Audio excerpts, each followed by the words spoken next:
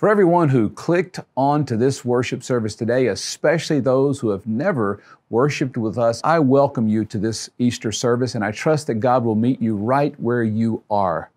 Remember, many of the stories in the Bible, even today's scripture, did not take place in religious buildings like temples or synagogues or what we call churches today, but they took places in the markets, in homes, on farms, on the streets. Today's story probably happened in a home, definitely not in a religious building. So if you're not used to worshiping anywhere except a church building, I trust that you can still hear God's word and have an encounter with Him today, wherever you are watching from. This has been a strange Holy Week for me. While driving the streets of Nashville one morning, then that evening, clicking on photos of empty streets of Manila that my Filipino friends had posted on Facebook and Instagram, I was reminded of my first few Holy Weeks in Manila in the mid 80s. In those days, it seemed like the whole city closed during Holy Week, especially on Saturday. The streets were empty, no buses, no jeepneys, no cars, no people. The way I remember it, there was really nothing to do other than spiritual reflection. In those days, of course, there was no internet, so there were no Netflix. Uh, there were only three TV stations, and the regular programming was canceled and replaced with religious shows. Same with the movie theaters. The feeling in those days during Holy Week was one of the seriousness of religious soul searching and of spiritual reflection. Many people discovered a new and fresh relationship with God as they stopped everything from work to entertainment to go through the rhythms of seeking God with a new vigor. When we do that, when we stop and press pause, whether we're forced to or we do it on purpose, and we do that and seek God, God tends to show up in new ways. If we seek Him, He promises to be found. While the empty streets remind me of past Easters in Manila, the feeling is very different this time. This Holy Week, religious reflection and soul searching has been replaced in many people with fear and anxiety and uncertainty and disappointment, even. I understand why this is the case. This global health crisis and looming financial crisis is reason enough for fear, anxiety, uncertainty, and disappointment. This stuff is real, and no one seems to have a solution or a way out. And nobody really knows when it'll end. We've even had to learn new vocabulary like social distancing, flattening the curve, herd immunity, contact tracing, fomite, zoonotic, and the most dreaded of all new words, COVID 19. Along with the new vocabulary, we've dusted off some old words that we would just as soon leave alone, but we're being forced to use them. Words like outbreak and epidemic and pandemic, lockdown, quarantine, and even martial law in parts of the world. This is not the Easter any of us imagined when the new year started. Yet here we are, unable to gather together physically, so we're doing our Easter weekend online.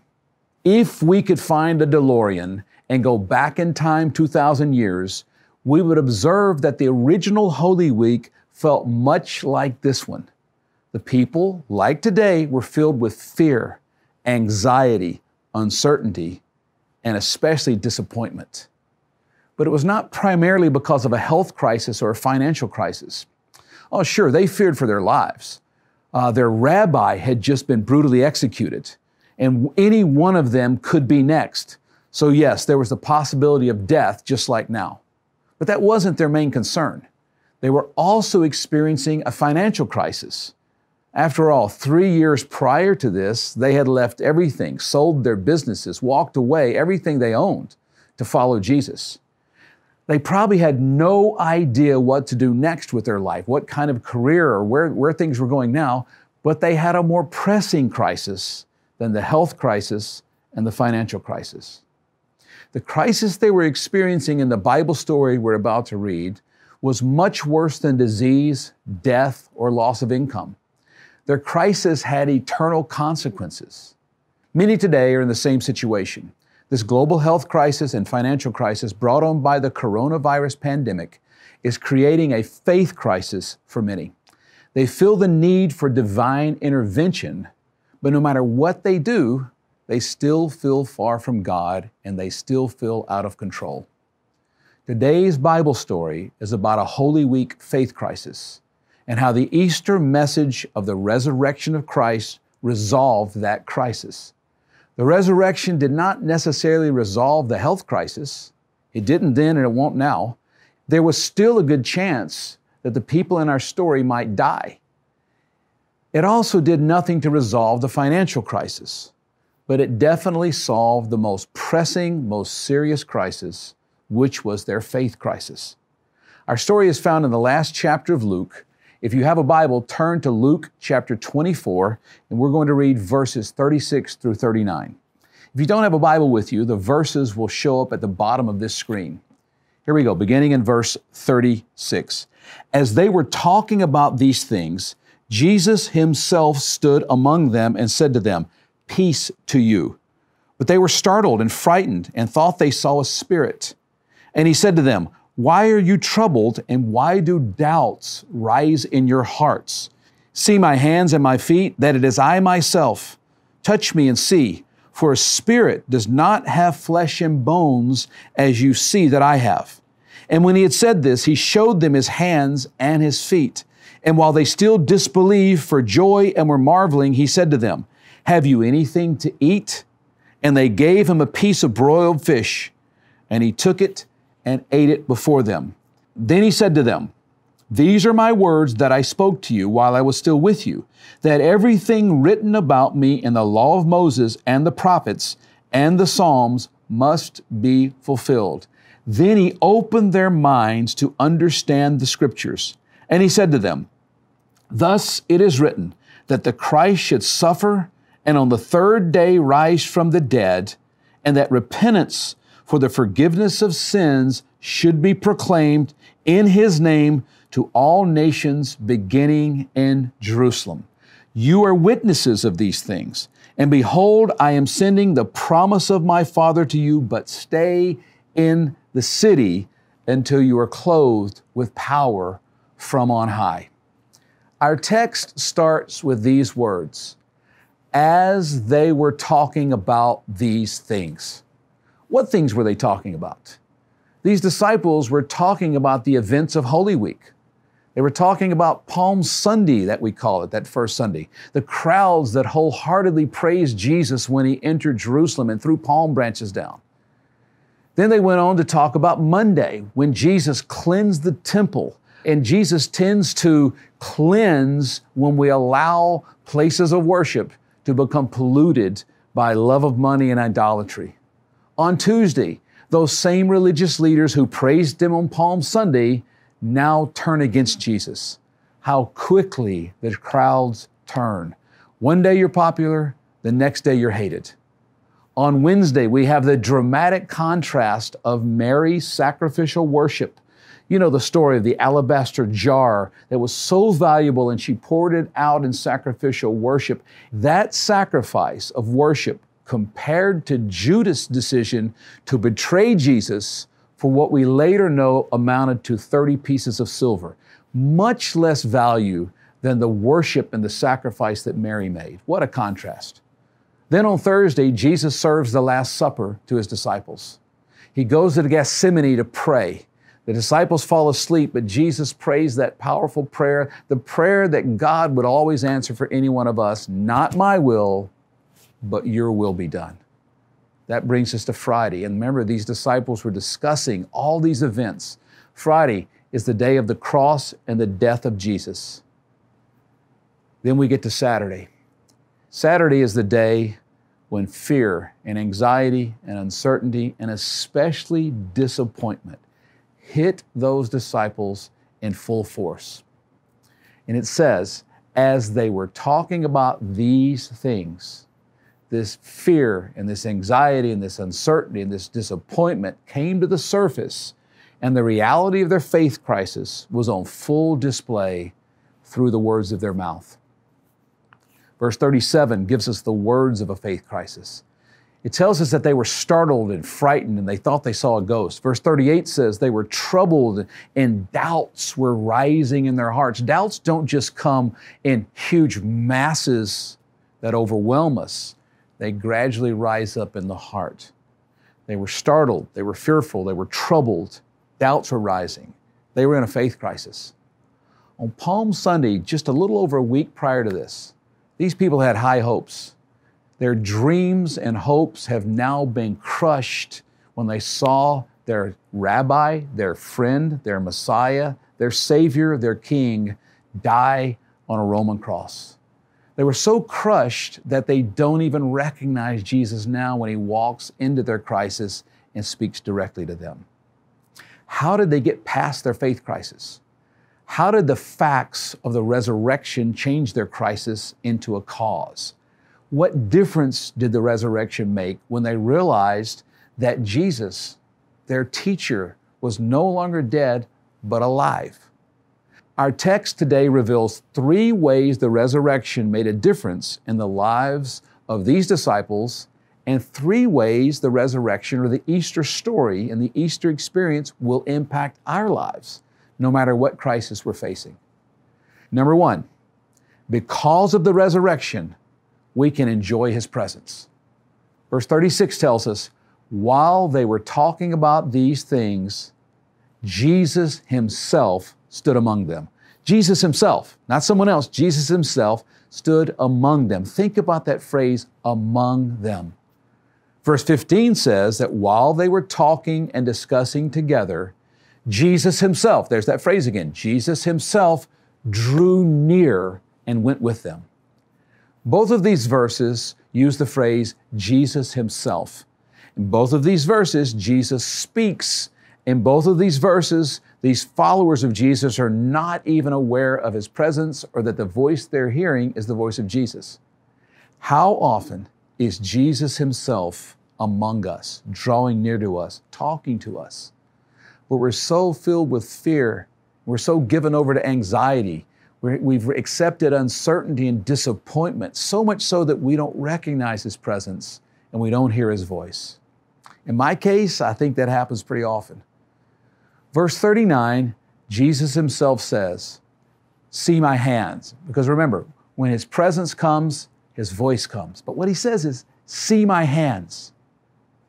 This reminds me of Isaiah 49, verse 15, that asks the question Can a woman forget her nursing child? That she should have no compassion on the son of her womb? This is a rhetorical question. The, the answer is, of course not. Uh, if there's a nursing child in the room and that child is hungry, you can't forget. You can't not know that child's there. They are usually quite loud and quite insistent. It says a woman is not going to forget that child who's hungry. Verse 16, Isaiah 49 says, Behold, in the context of can a woman forget that child and not have compassion? Behold, I have engraved you on the palms of my hands. That's an interesting phrase. Every time God looks at his hands, what does he see? This was a prophetic picture. Isaiah, more than any other Old Testament prophet, prophesied about the Messiah. And he's looking way into the future. And he's talking about God's hands engraved with our names, or maybe even our faces. Every time he looks at his hands, what does he see? He sees your name engraved with a nail scar. He sees a picture of you engraved. Engraving is a cutting into something, not just on the surface. Remember the story of the prodigal son earlier in Luke's gospel? The son disrespects his father, takes an early inheritance, squanders the money with immorality, then he comes to his senses and returns home. The story tells us that the father reaches out his hands to the son. Now, sometimes when we think about God reaching out his hand, too often we think about it's a finger pointing out everything we've done wrong, or a finger pointing out mistakes and saying, I told you so, but that's not the hand of God. Sometimes we think of an open hand that's a slap, a humiliating slap of shame. Sometimes we think of the hand as a clenched fist with a violent punch. But when God looks at his hands, and in the story here that we're looking at in Luke 24, when Jesus says, Look at my hands, it's not that finger pointing out everything wrong. It's not that slap of shame. It's not a violent fist. It's the same hands that are engraved with our names with a nail engraving. The hands the prodigal son saw were the hands of forgiveness and acceptance. They were extended to him in a warm, loving embrace. When Jesus said, Look at my hands, his disciples saw the same hands the prodigal son saw with their names engraved with a nail. They saw the nail scar. Because of the scars on his hands and his feet, we get invited to enjoy his presence. But that's not all the resurrection does for us. The presence is amazing, but that's just the starting point. We also get invited to engage his purpose. Verses 46 and 47 say this It is written that the Christ should suffer and on the third day rise from the dead, and that repentance and forgiveness of sins should be proclaimed in his name to all nations. Forgiving sins was his mission. Forgiveness of sins is his message. Proclaiming forgiveness of sins to all nations, that's his purpose, and that's the purpose he invites us into with him. He calls us to experience the forgiveness of sins and engage his purpose of proclaiming that forgiveness to our neighbors and to all nations. How do we experience forgiveness? Verse 47 attaches forgiveness of sins to this word repentance. Other verses attach forgiveness to faith. Why does one time it say repentance and one time faith? Sometimes it says both. Repentance and faith are two different sides to the same coin. Repentance means to turn away from sin. Faith is when we turn toward God. We can't turn away from something without turning to something. Every time I turn my back on this, I turn my face to that. And so repentance is this turning away from sin so that we can turn to God. We can't turn to God without turning away from sin, and we can't turn away from sin without turning to God. Forgiveness is received when we repent of sin and put faith in Christ, or when we turn to God and turn from sin. Repentance is a biblical word that is often used by Jesus, Paul, and other apostles. Unfortunately, it's often confused with the word penance, which is a word that's never mentioned anywhere in the Bible. In some ways, repentance and penance are exact opposites. Penance is when we're we sin, we know we did, we feel guilty, so we do some good work, and that good work and that good deed, whether it's a prayer or some physical act, but it, it relieves us of that feeling of guilt, and then we continue on. The good deed relieves the guilt for a while, but when we repent, we're not just covering it or making up for it or trying to balance it, we're actually turning away from it and turning to God. It's repentance and faith because of the resurrection, we're invited to enjoy His presence, to engage His purpose, but there's one more. We're invited to experience His power. I want to read verse 49 together. And behold, I am sending the promise of my Father upon you, but stay in the city until you're clothed with power from on high. Now, Luke wrote the book of Luke, but he also wrote the book of Acts. And we're in the last chapter of Luke. And when you go to Acts 1, that's like chapter 25 of Luke. There were times in history when Acts and Luke were put in together as one book and then they were separated as two. So the same person, Luke, when he says in verse 49 that we'll be clothed with the power of the Holy Spirit, then he goes in the next chapter or the first chapter of Acts, verse, verse uh, 8 of chapter 1, he says that we will receive power when the Holy Spirit comes on us, and we will be His witnesses in Jerusalem, Judea, Samaria, and the ends of the earth.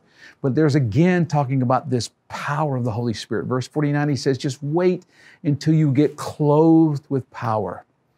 When I think about this, um, I, when I have time, like to ride my motorcycle. And there's a couple of things I do when I think about this idea of clothed with power. I don't ever get on my motorcycle without putting on proper gear. I put on an armored jacket. I put on motorcycle boots. I put on uh, pants that are designed to, if I fall, they, they, they don't tear and, and they're padded. And I have gloves and I have a helmet with a full mask and face. I don't get on there without putting the right clothes on because it's protective eh, while I'm on the motorcycle.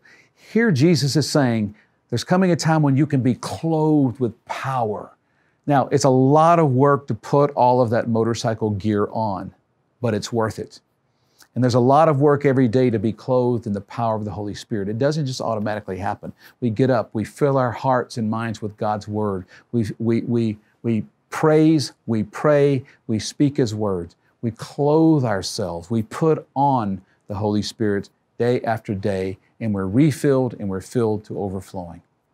So, throughout history, the church has clothed itself with the power of the Spirit in order to serve as a witness to Christ and His love in the midst of wars and epidemics, and it's had a tremendous impact on church history. On this Easter service, if you want to accept God's invitation to you to enjoy His presence, not live at a distance, but take the invitation to live in His presence, to engage His purpose, not living for your purpose or other people's purpose for your life, but figuring out what God has you here on this earth for. And if you want to experience His power, I want to pray with you right now. I want to pray a prayer based on Romans chapter 10, verse 9 and 10. And that scripture says, If you confess with your mouth that Jesus is Lord and believe in your heart that God raised him from the dead, you will be saved. For with the heart one believes and is justified, and with the mouth one confesses and is saved. I want you to pray this prayer in your heart with me right now. Heavenly Father, I repent and turn away from all sin. I turn to you in faith. I confess with my mouth that Jesus is Lord. I believe in my heart that you raised him from the dead. I believe I am justified and saved by your sacrifice and by your goodness, not by my sacrifice and my goodness. Please help me recognize your presence and your voice and fill me with the power of your Spirit so I can live a life that honors you. In Jesus' name, amen. I hope you experience the power of His resurrection, not only on Easter Sunday, but on every Sunday and every other day of the week for the rest of your life. Amen.